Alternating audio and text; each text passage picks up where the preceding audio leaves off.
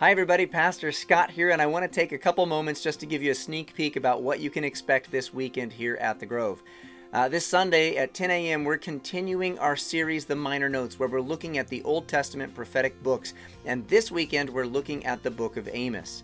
Uh, if you have uh, ever wondered how God feels about injustice and righteous living, then this is a week for you. I think that the book of Amos, which is only nine chapters long, has some incredibly profound things for us to understand how God feels about injustice.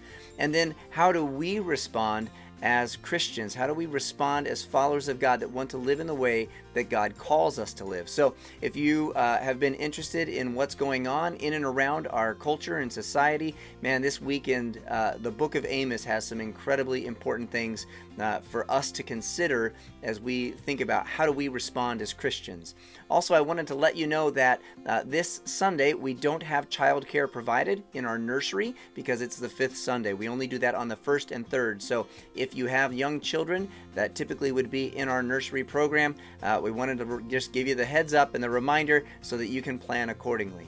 Uh, I hope we see you guys this Sunday, whether that's here at the Grove or online.